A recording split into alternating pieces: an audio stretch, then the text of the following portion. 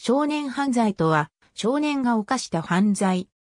日本では、少年法2条1項に定義されている少年、すなわち20歳に満たない者が犯した、または犯したとされる犯罪に対してこの言葉を用いる。法務省が発行する犯罪白書では、殺人と強盗を凶悪犯としている。一方、警察白書では、殺人、強盗、放火、強姦を凶悪犯罪としている。少年法により、成人とは違った特別の措置が講ぜられる11月1日改正。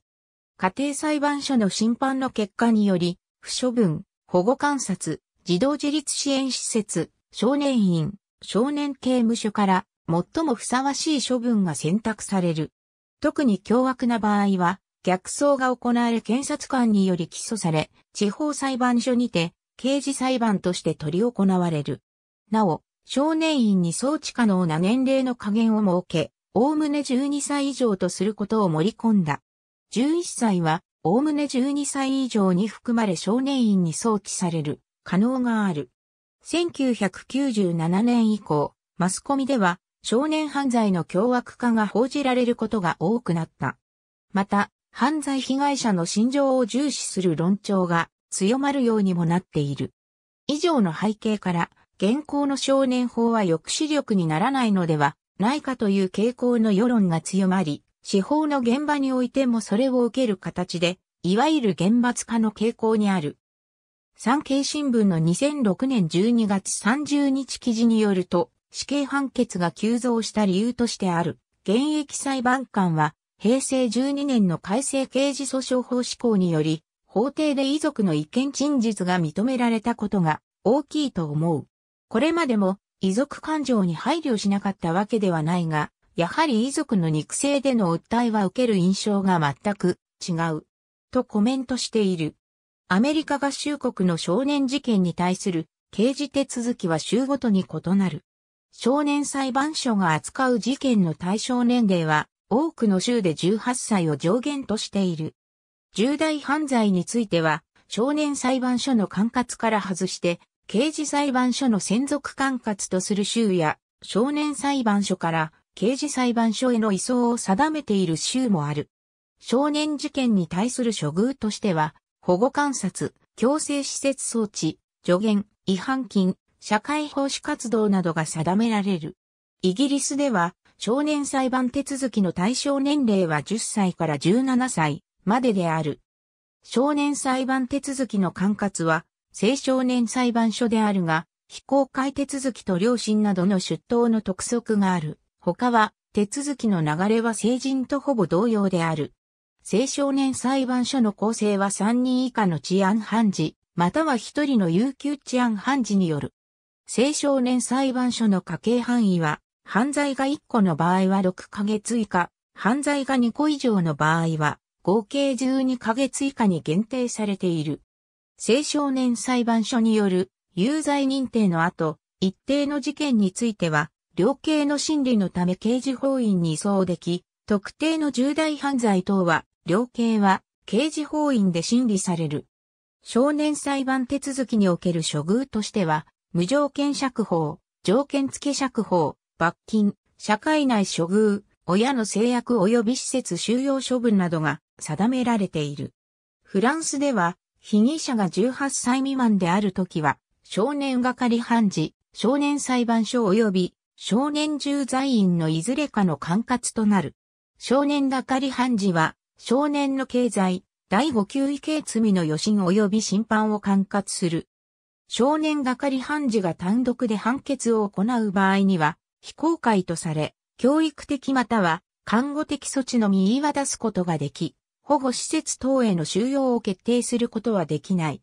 少年裁判所は、少年の経済、第5級違刑罪、16歳未満の少年の重罪に当たる事件を管轄する。少年係判事及び三審員2名の合議による。13歳以上の少年に対しては、刑事処分を選択できる。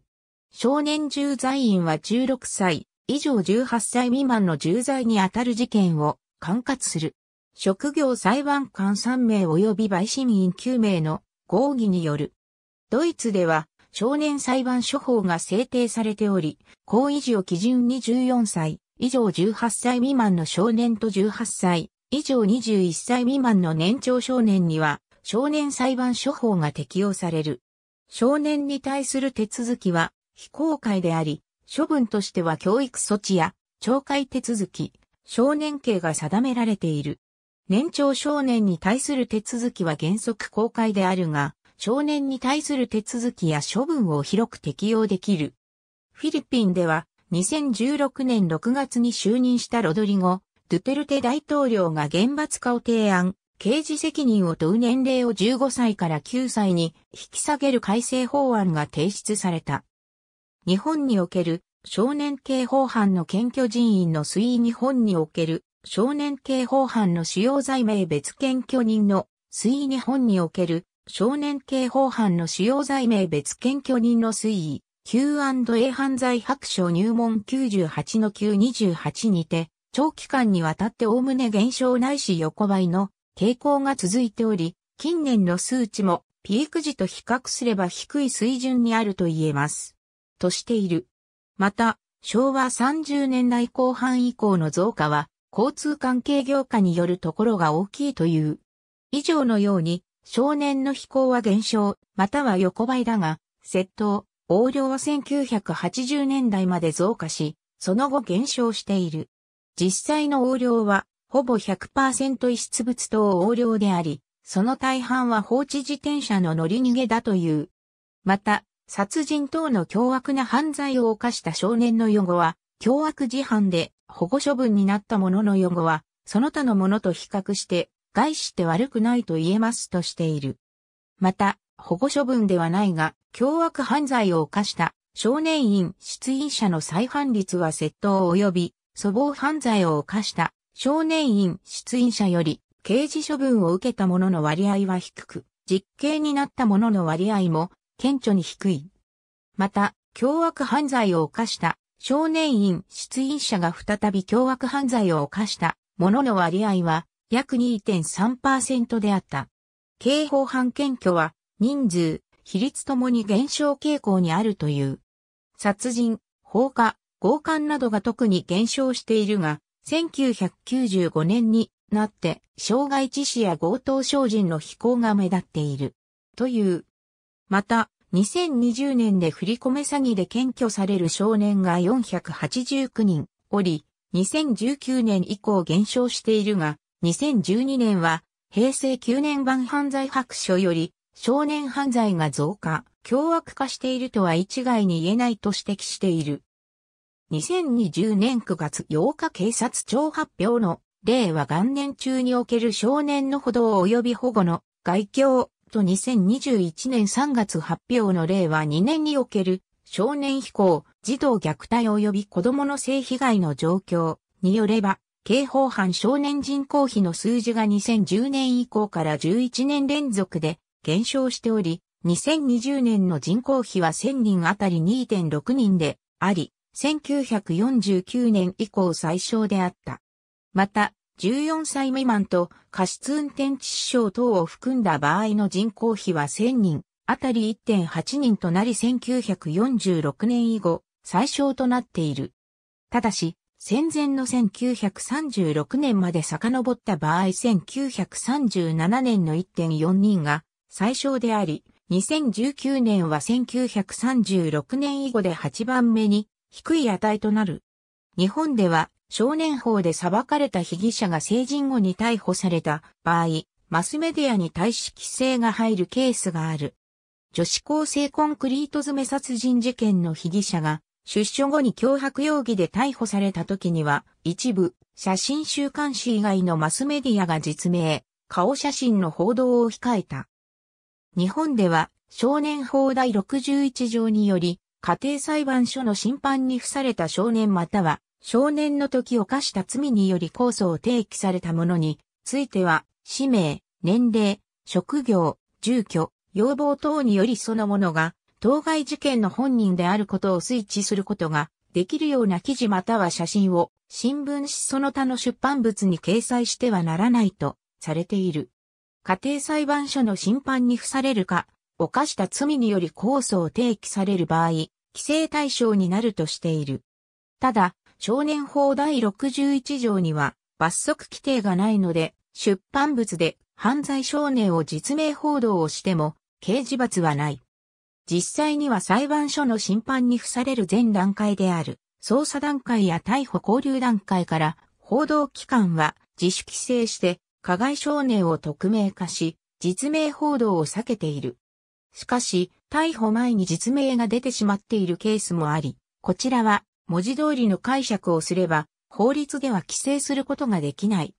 ただし、少年法第61条に罰則規定がないだけであり、名誉毀損やプライバシー侵害として民事、刑事上の責任を問われることはあり得る。例外として、浅沼エネジロ暗殺事件では、事件の重大さから、この報道規制の対象外となった。少年ライフルマ事件、長山則夫連続射殺事件でも報道規制の対象外となっている。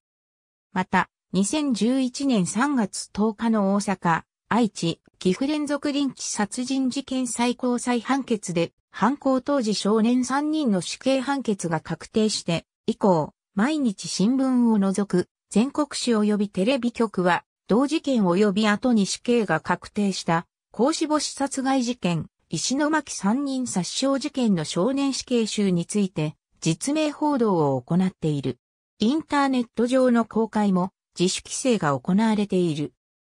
しかし、インターネットに少年法が適用されるかについては、見解は分かれる、すなわち、少年法61条は、新聞紙その他の出版物への掲載を禁じているので、あり、インターネットは、新聞紙でも出版物でもないが、出版物について、不特定多数の者が知り得る媒体を指すという理解に従えば、インターネットも対象になることになる。また、少年法第61条は、捜査段階や逮捕交流段階には、効力が及ばないので、その段階での新聞紙上での報道には、少年法第61条上は何の問題もない。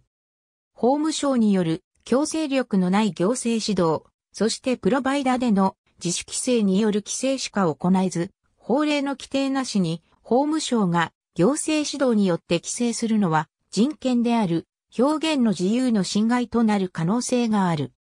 2チャンネルをはじめとした一部の電子掲示板や、ツイッターなどの SNS、YouTube やニコニコ動画、ニコニコ生放送などの動画投稿サイトでは、規制に反して、被疑者や疑わしき人物の実名や住所、電話番号、職業、家族構成、顔写真といった個人情報が掲載され、問題になっている。一例として2チャンネルでは、住所や電話番号などプライバシーを侵害する記述がない限り削除しない運営をしている。その理由は、公開が規制されている場合は、その掲載が事実か確認する手段がない。つまりデタラメな掲載であるから裁判所に行けば、一般人でも被告人の氏名が確認できるので、その氏名は公開情報とみなせるからだという。電話帳は個人情報保護法第19条第23条の規制の対象にならないので対処のしようがない。さらに、海外のウェブサイト上でも掲載されることがある。こちらは国内法である少年法では法務省も対処の範疇外とされ、解決のめどは立っていないのが現状である。上記以外にも、その問題点から小説、映画、ドラマ、漫画を問わずたびたび題材にされる。ありがとうございます。